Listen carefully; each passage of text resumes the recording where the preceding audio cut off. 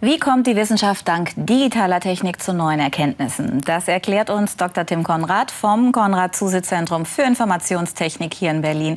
Herzlich willkommen. Hallo.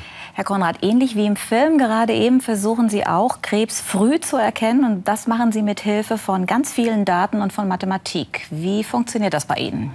Das ist richtig. Äh, die Grundidee, die wir haben, ist, dass Sie in, im Blut schon sehr, sehr viele Informationen raussammeln können. Sie können also im Blut schon erkennen, in vielen Fällen, ob eine Krebserkrankung ganz früh vorliegt. Was wir jetzt eben versuchen in der Mathematik ist, dass wir Algorithmen entwickeln, also Methoden in dem Fall, die uns halt diese wichtige Information aus einer Fülle von diesen Hunderten und Tausenden von Möglichkeiten raussucht. Können Sie das vorstellen mit so einem großen LKW, der voll mit Büchern gepackt ist, ungefähr das die Information, die in so einem Blutstropfen drin steckt.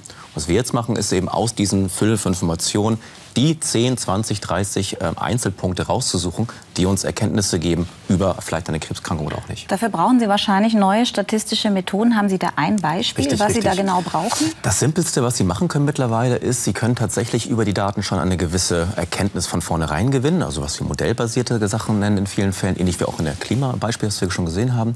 Und was wir da machen, ist, wir können jetzt, während wir Daten aufnehmen, schon erkennen, welche eigentlich wichtig sind und nur die überhaupt speichern und später analysieren. Also wie so ein Filter heißt Im das Prinzip dann? ein Filtern der Daten während der Aufnahme schon, richtig. Mhm. Jetzt sind Sie ja bei diesem Projekt noch ganz am Anfang. Wie lange wird das dauern, bis man tatsächlich das dann erkennen kann anhand des Blutes? Wir haben jetzt schon die ersten Vorarbeiten gemacht, die auch schon wirklich gute Ergebnisse bringen. Das kann man jetzt tatsächlich schon im Prinzip anwenden in der Praxis, also im Krankenhaus.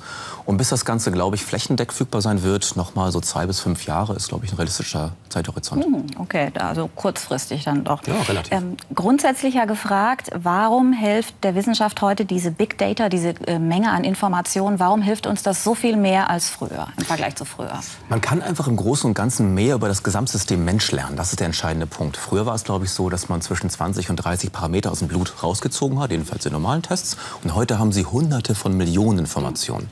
Theoretisch. Praktisch sind es deutlich weniger, vielleicht ein paar Tausend, vielleicht ein paar Zehntausend. Aber sie haben einfach viel mehr Möglichkeiten, jetzt das Ganze versuchen dann eben zu interpretieren. Das ist neu. Aber umso wichtiger ist es dann genau das Wichtige oder Relevante herauszufiltern, genau. wenn man diese Flut hat. Das ist genau die Herausforderung, richtig. Jetzt ist es ja schön, dass wir so viele Daten haben und einfach abrufen können. Aber genauso einfach können sie ja auch in die falschen Hände geraten.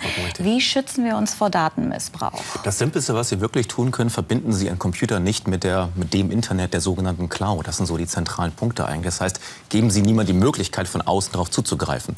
Das Zweite, was Sie machen können, ist offensichtlich auch, verschlüsseln Sie Ihre Daten mit starken Passwörtern in dem Fall oder starken Algorithmen. Aber wenn ich jetzt Patient bin, dann bin ich gläsern, weil ich merke ja gar nicht, was der Arzt so alles mit meinen Daten Dasselbe macht. Dasselbe muss dann gelten, ganz genau, für den Arzt oder für das Krankenhaus in dem Fall. Also der Datenschutz liegt dann auf deren Seite mit denselben Methoden natürlich. Und wie sicher können Sie sein, dass nicht automatisch alles, was digital ist, auch öffentlich ist?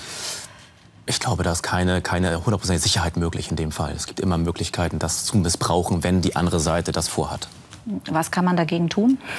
Sichern Sie Ihre Daten und versuchen Sie halt so viel wie möglich dann eben auf Einfluss zu nehmen, dass das eben auch getan wird in Ihrem Sinne. Aber ich glaube, am Ende des Tages haben Sie, wie gesagt, nur die Möglichkeit, das dann zu und der Nutzen von Big Data überwiegt aber für Sie?